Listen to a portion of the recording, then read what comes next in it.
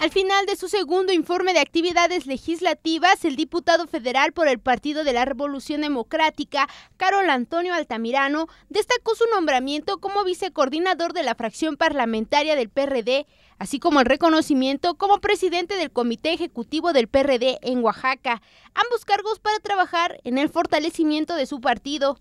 Añadió que las tareas a realizar representan un esfuerzo adicional para los comicios electorales del 2015, los cuales definió como un gran logro.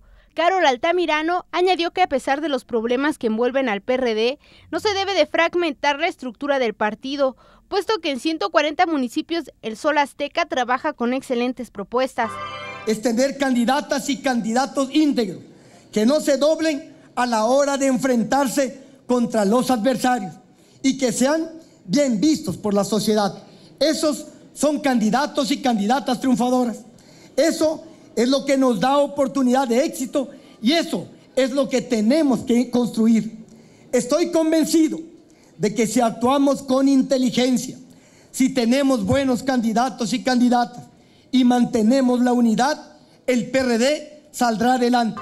Finalmente, Carol Altamirano mencionó que aún hace falta trabajar para brindar mejores resultados. Es por ello que el diputado federal se comprometió a seguir impulsando leyes para el beneficio de las y los oaxaqueños. Los oaxaqueños siguen en la pobreza.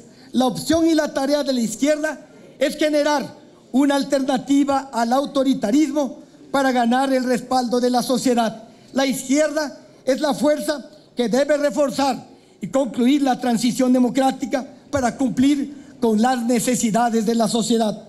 Los retos nos obligan a sacar lo mejor de nosotros mismos.